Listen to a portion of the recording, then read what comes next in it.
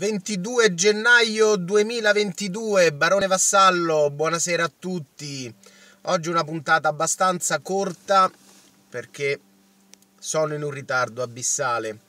Però volevo farvi cogliere una cosa molto importante.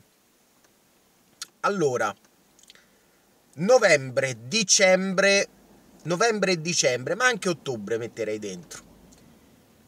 Chi era iscritto alle pagine malori improvvisi, nessuna correlazione o comunque che andava dietro a queste notizie, ricorderà perfettamente che ogni giorno, ogni giorno, in queste pagine, in queste pagine che parlavano di questi malori improvvisi, di queste persone che di colpo venivano prese da infarto, da ictus, da pericardite, dalle cose più eh, tremende.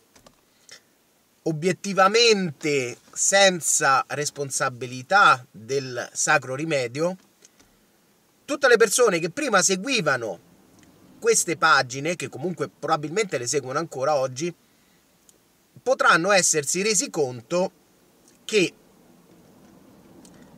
da gennaio, nonostante il terzo tempo, il terzo tempo inoculato a una grande parte della popolazione, questi malori improvvisi sono di colpo diminuiti, quasi, quasi andati a sparire, nonostante il terzo tempo.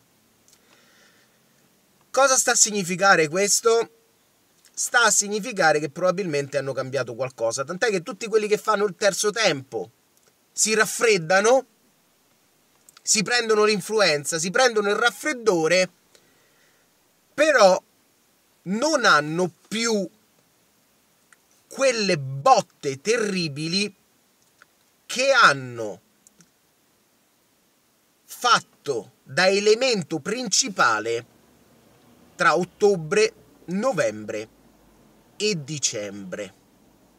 Fateci caso, i malori improvvisi, le pericarditi, gli ictus, le trombosi, di colpo da gennaio non ci sono quasi più, nonostante abbiano messo questo terzo tempo del sacro rimedio, che l'unica cosa che ha portato, come le vecchie come le vecchie ehm, eh, influenzali, eh, influenzali, come le vecchie influenzali, ha portato soltanto a stare male, influenzati, raffreddati 10 giorni con la febbre, 15 giorni con la febbre.